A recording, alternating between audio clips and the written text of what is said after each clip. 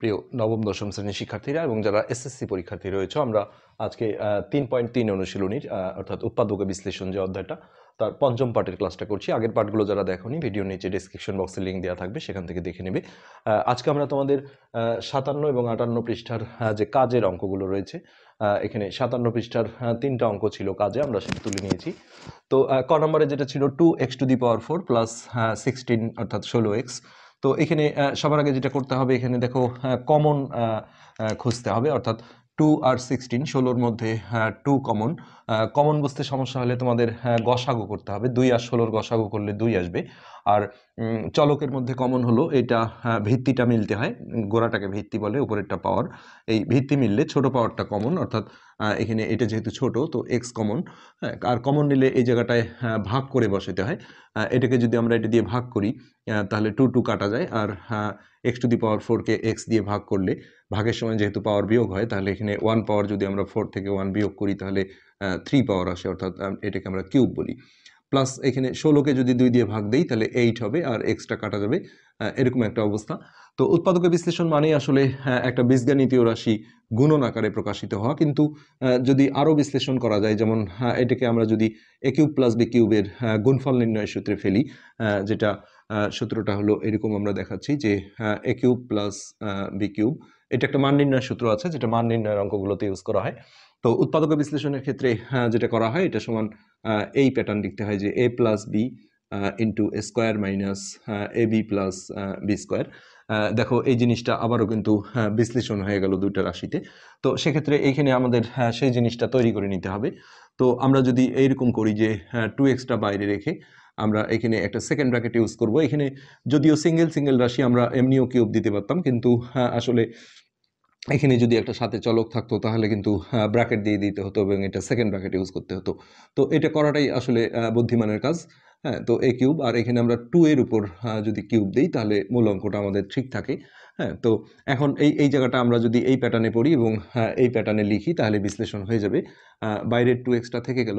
আর এটা এ আর এটা বি তাহলে আমরা প্রথমে লিখব a plus b a plus b into a square minus a b plus b square অর্থাৎ স্কোয়ার মানে হচ্ছে x square minus a b মানে হচ্ছে a dot b plus b square মানে হচ্ছে টু স্কোয়ার তো সিম্পলি এর পরের লাইনে আমাদের ওই জায়গাটা একটু ক্যালকুলেশন করে দিলে আমরা অ্যান্সার পেয়ে যাব। এটা আমাদের ঠিক থাকল। আর এটা এক্স স্কোয়ার আর এটা গুণ করলে সংখ্যাটা আগে লিখতে হয় টু এক্স আর টু এর স্কোয়ার মানে হচ্ছে ফোর তো এর চেয়ে আর বেশি বিশ্লেষণ করা সম্ভব না। সো এই আমাদের ক নাম্বারের কিন্তু অ্যান্সার আমাদের এটি। Two x into x plus two into x square minus two x plus four তো এরপরে আমরা পাশে খ নাম্বার অঙ্কটা দেখছি। খ নাম্বার আমরা এটা মিশিয়ে দিই। তো খ নম্বরে যেটা হয়েছে সেটা হচ্ছে যে এখানে সামনে একটা এইট আছে। আর এটা আমরা দেখছি যে একটা ঘনসূত্রেই তৈরি হয়েছে, কিন্তু চিহ্নগুলো গোলমাল আছে। হ্যাঁ যেমন প্লাসের ঘনসূত্র হলে সব প্লাস হতো, আবার মাইনাসের ঘনসূত্র হলে এই সেকেন্ডটার আগে মাইনাস আর লাস্টের আগে মাইনাস হতো। তো এই এই সমস্যা এড়ানোর জন্য এটা যেটা করতে হবে, এইটটা বাইরে রেখে এখানে মাইনাসটা বাইরে রেখে এই- সবগুলোকে একটা ব্র্যাকেটের ভিতর ঢুকিয়ে নিতে হবে।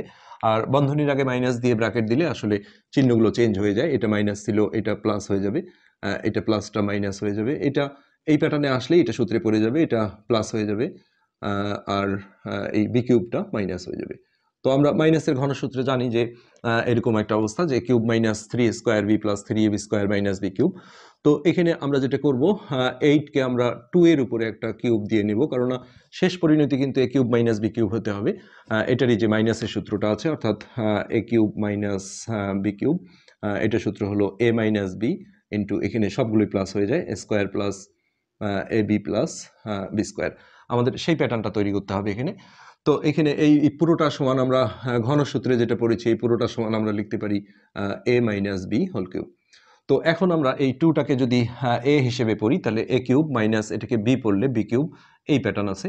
তো এটা থেকে আমরা এই প্যাটার্ন লিখব অর্থাৎ এ মাইনাস বি তাহলে এ মাইনাস বি মানে হচ্ছে এটা প্লাস মাইনাস যুক্ত রাশি অবশ্যই ব্র্যাকেটে রাখতে হবে। এখানে আরও বিষয় আছে যে এটার সাথে যেহেতু এটার গুণন সম্পর্ক রাখতে হয়, আর এখানে যেহেতু এখানে ফার্স্ট ব্র্যাকেট পড়ে গেছে, এটার সাথে এই পাশে গুণন রাখতে গেলে এটা অবশ্যই সেকেন্ড ব্র্যাকেটে রাখতে হবে। আর না হলে এটা ভালো বুঝলে একবারেই কিন্তু এই চিহ্নগুলো যদি চেঞ্জ করে দেওয়া যায় যে টু মাইনাস এ আর এটা প্লাস বি তাহলে একটা ফার্স্ট ব্র্যাকেটেও রাখা যায়। তো আমরা এই প্যাটার্ন লিখে ফেললাম। এখন এই প্যাটার্নটা যদি আমরা লিখি যে এখানে আমরা একটা সেকেন্ড ব্র্যাকেট দিয়ে নিই এ স্কোয়ার অর্থাৎ এ স্কোয়ার মানে হচ্ছে two square plus a b মানে a dot b plus minus যুক্ত রাশিকে গুণ দিতে গেলে এটা অবশ্যই ব্র্যাকেটে রাখতে হবে। টু তাহলে এ বি হলো plus b square b square বলতে এটা আমাদের বি তার উপরে স্কোয়ার এবার আমরা ক্যালকুলেশনে যাব। এখানে মাইনাস দিয়ে যদি আমরা গুণ করে দিই, তাহলে এটা হবে মাইনাস এ আর এটা minus seven s a plus b এই, আর এখানে আমরা টু স্কোয়ার করলে এটা আমরা পাবো হচ্ছে ফোর আর এখানে টুটা দিয়ে আমরা যদি গুণ করি, তাহলে এটা হবে টু এ আর এটা plus minus a minus two b অনেকে যেমন জবা খিচুড়ি করে দেয় একবারে টু এ বি এটা কিন্তু কোনো গুণন না। হ্যাঁ আর এটা অবশ্যই বর্গের সূত্র দিয়ে স্কোয়ার থেকে বের করতে হবে, অর্থাৎ a minus b whole square সমান square minus two a b plus b square এবার আমরা ভিতরে কোনো যোগ বিয়োগ আছে কি না ক্যালকুলেশন আছে কি না সেটা খেয়াল করব। তো এখানে এ আলা রাশি একটাই নাই। একটু আমরা যদি সাজায় নিতে চাই, তাহলে পাওয়ার অনুযায়ী চলকের ভিত্তি পাওয়ার দেখে দেখে আমরা একটু রিঅ্যারেঞ্জিং করে লিখতে পারি। হ্যাঁ তবে এইভাবেও যদি আমরা পুরোটা রাখি, তাহলে কোনো সমস্যা নেই। আমরা এটাই আসলে অ্যান্সার করতে চাচ্ছি। তো আমরা একটু দেখে নিচ্ছি four plus a square plus b square plus two a minus two b minus two a b হ্যাঁ আমরা এটাকেই অ্যান্সার হিসেবে রাখছি। এটা নড়চড় করছি না আমরা। নেক্সট আমরা গ নাম্বারটা দেখি। এখানে সরাসরি এই সূত্রে পড়ে গেছে যে এ কিউব এটা এ আর এটা b a cube plus b cube এখন আমরা এই ফরম্যাটে যদি লিখি যে এ প্লাস বি তাহলে যেটা হয়, এটা পুরোটাই এ প্লাস প্লাস থাকলে আর এখানে আলাদাভাবে ঢাকার দরকার নেই, যেহেতু মাইনাস আসলে চিহ্নগুলো চেঞ্জ হয়ে যায়।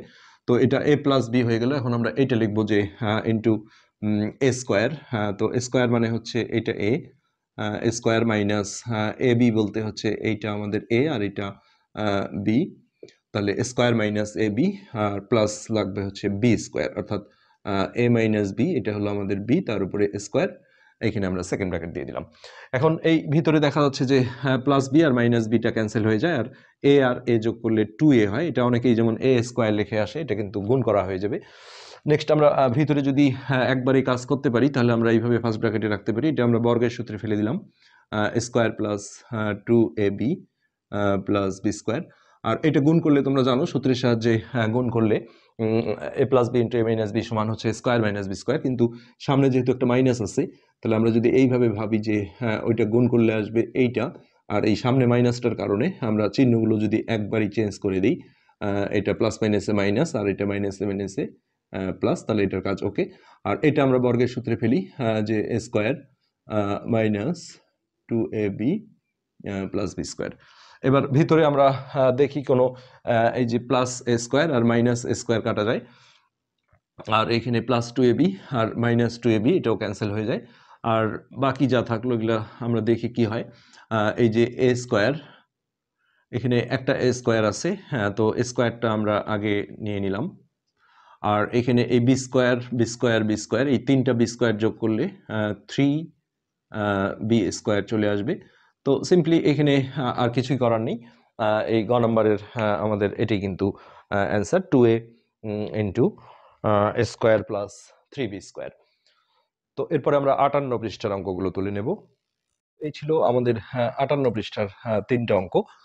তো ক নম্বর যে অঙ্কটা ছিল half x square plus seven by six x plus one third তো এটা আসলে একটু মিডিল টার্মের অঙ্কই বা একটু ভগ্নাংশের যেহেতু তো অনেকের কাছে এই জিনিসটা আসলে কঠিন লাগে। তো আমরা যদি এইভাবে করতে চাই যে দেখো আমরা এটা যদি ভগ্নাংশের যোগের নিয়মে অর্থাৎ লসাগু করি হ্যাঁ, তাহলে তিন ছয় আর দুইয়ের লসাগু আসবে হচ্ছে ছয়। তো এটা দিয়ে যদি একে ভাগ করি তিনবার যায় তো এটা আসলে উপরেই ধরতে হয়। তো উপরে যদি আমরা গুণ করি থ্রি এক্স স্কোয়ার প্লাস এটা দিয়ে একে ভাগ করলে একবার যায় অর্থাৎ এটা একই থাকবে সেভেন এক্স আর এটা থ্রি দিয়ে ভাগ দিলে দুইবার যায় হ্যাঁ, দুই ওকে দুই। তো এবার আমরা এই যে উপরের জায়গাটায় আহ, যদি মিডিল টার্ম করি তাহলে মিডিল টার্মে দুই পাশে সংখ্যা থাকলে আহ, যেটা করতে হয় এটা গুণ করে নিতে হয় তিন দুগুণে ছয়। তারপরে এক গুণন ছয় করে আমরা দেখলাম যে হ্যাঁ এখানে আসলে গুণনীয়ক বের করার দরকার হচ্ছে না এখানে ছয় আর এক যোগ করলে ডাইরেক্ট সাত হয়ে যাচ্ছে। তো আমরা একটা সিক্স এক্স আর একটা ওয়ান এক্স যেহেতু লেখা যায় না আমরা শুধু এক্স হিসেবে নেব। একটা হলো সিক্স এক্স যে কোনো একটা আগে লেখা যাবে একটা এক্স প্লাস টু আর বাই নিচে ছিল হলো ছয়। আচ্ছা এরপরের লাইনটা আমরা যেটা করব যে আহ, এই দুটোর মধ্যে থেকে থ্রি এক্স কমন যায়। আমরা থ্রি এক্স কমন নিলে এখানে থাকবে এক্স আর এখানে সিক্স এক্সকে থ্রি এক্স দিয়ে ভাগ দিলে এটা হবে টু আর কোনো কিছু কমন না গেলে এখানে একটা ওয়ান কমন নিতে হয়। ওয়ান কমন নিয়ে ওয়ান কমন নিলে কোনো ইফেক্ট পড়ে না ওইভাবেই থাকবে। আর নিচে ছিল সিক্স এবার এই দুটোর মধ্যে থেকে আমরা এক্স প্লাস টুটা যদি আবারও কমন নিই তাহলে এদিকে থ্রি এক্স প্লাস ওয়ানটা ইন্টু আকারে এখানে চলে আসবে, আর এটা বাই সিক্স হবে। তো আমরা এইভাবে উত্তর করতে পারি, অথবা অনেকে যেমন এটা ওয়ান বাই সিক্সটা বাইরে হচ্ছে যে আলাদা করে নেয় সেটাও করা যাবে, কোনো সমস্যা না। তো এটাই আমরা অ্যান্সার আসলে রেখে দিচ্ছি।